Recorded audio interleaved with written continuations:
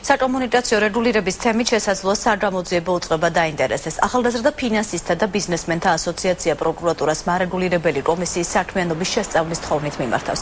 საქმე ეხება მობილური კავშირგაბმულობის ბაზრის ერთ-ერთი მოთამაშის ბილაინის ინტერესების სასარგებლოდ სხვა ორი ოპერატორი კომპანიის მიმართ დისკრიმინაციულ მიდგომას, რაც კანონით დანაშაულად ითვლება. ირკვევა, რომ ორი წლის განმავლობაში ბილაინის ქსელში ჩართვისთვის მართისა და ჯეოსელის თითოეულ წუთზე 14.8 თეთრი უნდა გადაეხადა მაშინ როცა იგივე მომსახურებისთვის ამ კომპანიებს ბილაინი 8 თეთრს ურიცხავდა. ამ გადაწყვეტილების მოტივად თავის დროზე ბილაინის როგორც ბაზრის ახალი მოთამაშისთვის დათვალისწინებული შეღავათები დასახელდა.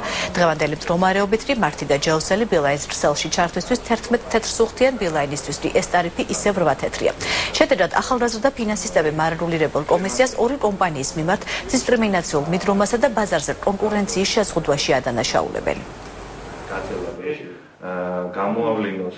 რამდენად ქონდა კორუფციულ გარიგებას და კორუფციულ სქემას ადგილი? ამის თქვა ჩვენთვის ძალიან ძნელია და სწორედ ამიტომ დღევანდელი ბრიფინგით მიმართეთ პროკურატურას და თუ საჭირო იქნა შესაძლოა ოფიციალური წერილითაც მიმართავთ რომ შეისწავლოს ეს საკითხი და თუ ქონდა ადგილი მართლაც კორუფციულ გარიგებას რა თქმა უნდა ამისთვის პასუხი უნდა აგოს ნებისმიერ მხარემ რომელიც მონაწილეობას იღებდა ამ გარიგებაში თუ რა თქმა უნდა კიდევ ერთხელ ვიმეორებ ასეთ გარიგებას ქონდა ადგილი. ბილაინი უკვე არის ცნობილი მნიშვნელოვანი საბაზრო ძალაუფლების მქონე ოპერატორად. ის კომისია 2011 წლის ნოემბრის თვეში ცნო შესაბამისად.